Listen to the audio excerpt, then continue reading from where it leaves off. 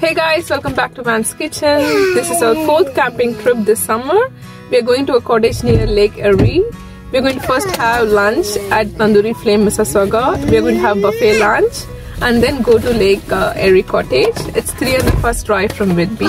So we are all excited because we are going with two of our best friends' family. Since it was around three and a half drive, we thought we would stop by Tandoori Flame Mississauga to have buffet lunch.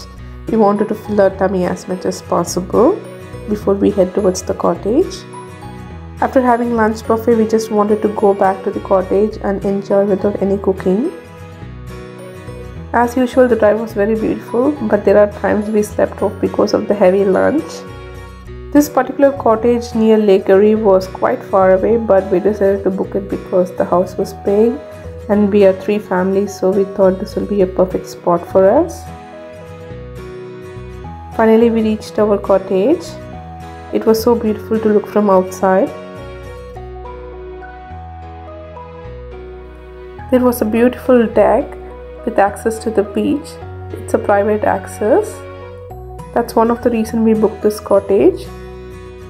We usually try to book a cottage where we can do kayak and canoe. But at this lake we couldn't do that. But we still had a beach so I thought kids will enjoy. The neighborhood was very quiet and beautiful with lots of fields and windmills. The deck was very spacious and we had a big grill to do our barbecue. They also had many more chairs and tables in the storage that we can use. It's a three bedroom cottage and it was actually much bigger than I thought. The living area, dining area, kitchen, the island, it was all very very spacious. The house was clean, but I saw lots of pet hairs here and there, something that I didn't like about the cottage. It would have been perfect had we not found those pet hair, but it was in general a good cottage and it was clean.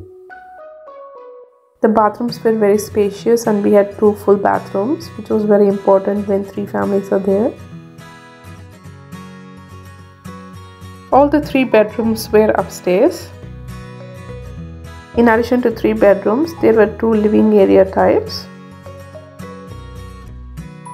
One of the bedroom had bunk beds and the other two bedrooms had king size beds. We had a beautiful view from the living area upstairs.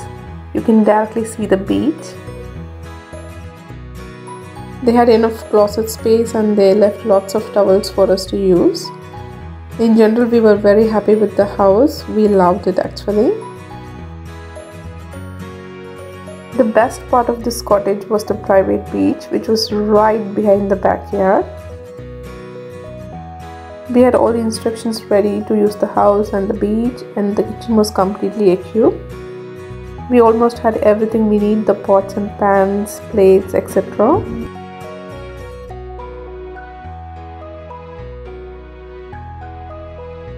All the vessels were nice and clean, but the fridge was kind of dirty.